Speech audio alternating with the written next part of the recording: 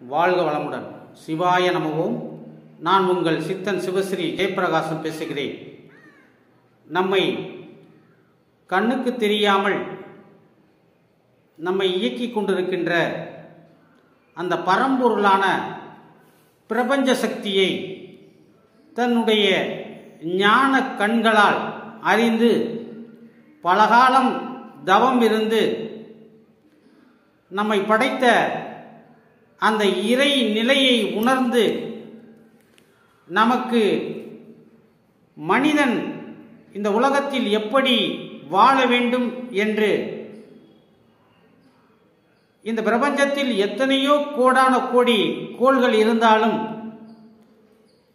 இந்த பூமியை மனிதன் வாழ்வதற்காக தேர்ந்தெடுத்து பரம்பொருள் நம்மை இந்த பூமியில் ஒரு தாயின் கருவறையிலிருந்து ஜனனமாகும் பொழுது இந்த பிரபஞ்சத்தில் இருக்கக்கூடிய நம்மளுடைய இந்த ஆன்மாவை இயக்கக்கூடிய கிரகங்களை உணர்ந்து அந்த பிரபஞ்சத்தை பன்னிரண்டு ராசி வீடுகளாக்கி அதில் நம்ம இயக்கக்கூடிய அந்த ஒன்பது கிரகங்களையும்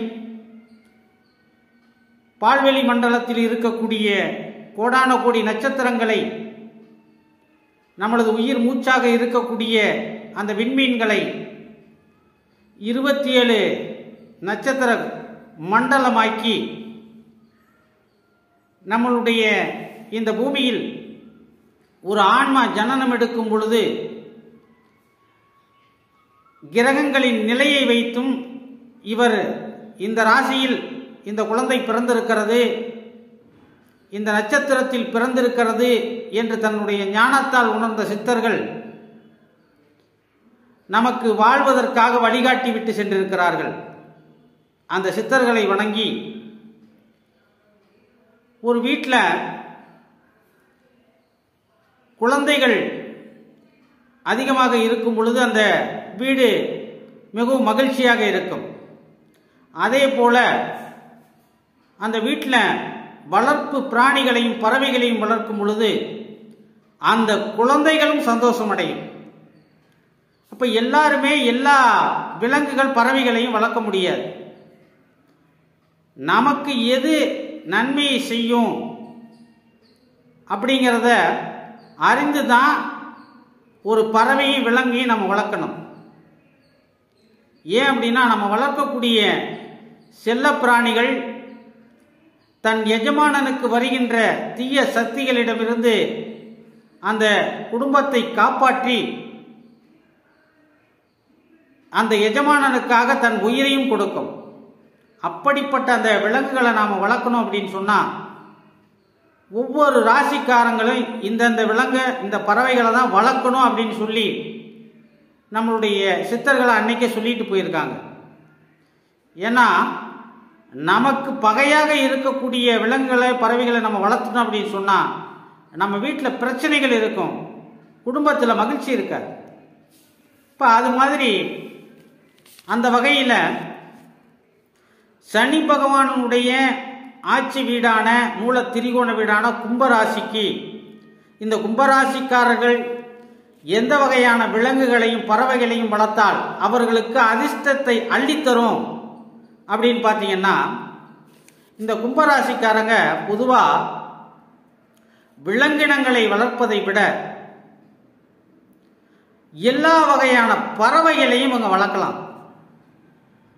அதுலேயும் இந்த லவ் பேர்ட்ஸ் என்று சொல்லக்கூடிய பறவைகளை இவங்க வளர்த்தாங்க அப்படின்னு சொன்னால் மிகப்பெரிய வெற்றியை இவங்க பெறுவாங்க.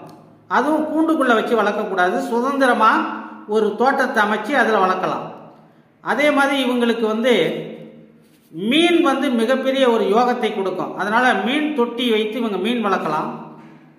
தினமும் காக்காய்க்கு இவங்க உணவு கொடுத்தாங்க அப்படின்னு சொன்னால் எல்லா வகையிலும் இருந்து இவங்க இவங்களுக்கு வரக்கூடிய அந்த இன்னல்களில் இருந்து இவர்கள் காப்பாற்றப்படுவார்கள் அப்படிங்கிறது ஜோதிட விதி.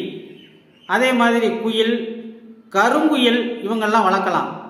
கண்டிப்பாக இந்த கும்பராசிக்காரங்க நாய் வளர்க்கக்கூடாது.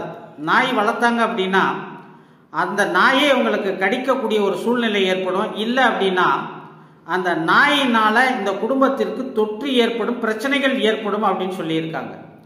அப்போ இந்த கும்பராசிக்காரங்க பறவைகளையும் மீனையும் வளர்த்த அதே மாதிரி காக்காய்க்கு உணவளித்தால் கண்டிப்பாக இவர்களுடைய வாழ்க்கையில் மிகப்பெரிய ஒரு வெற்றி அடைவார்கள். வாழ்க வளமுடன். எல்லாம் நிறைவாகட்டும். சகல ஐஸ்வர்யங்களும் உங்களுக்கு கிடைக்கட்டும். என்னுடைய வீடியோ உங்களுக்கு பிடிச்சிருந்ததுன்னா லைக் பண்ணுங்கள் ஷேர் பண்ணுங்கள் கமெண்ட் பண்ணுங்கள் மறக்காமல் சிவஸ்ரீ பாலா அப்படிங்கிற என்னுடைய யூடியூப் சேனலை சப்ஸ்கிரைப் பண்ணுங்கள் பக்கத்தில் இருக்க பெல் பட்டனை மறக்காமல் அழுத்துங்க. வாழ்க வளமுடன்.